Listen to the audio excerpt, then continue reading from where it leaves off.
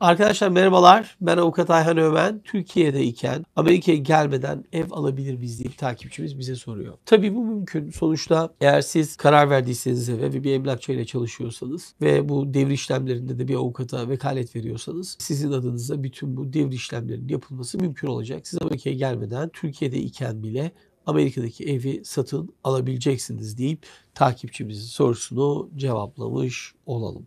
Música